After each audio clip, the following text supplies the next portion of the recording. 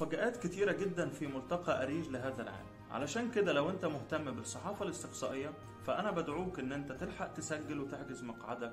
من الآن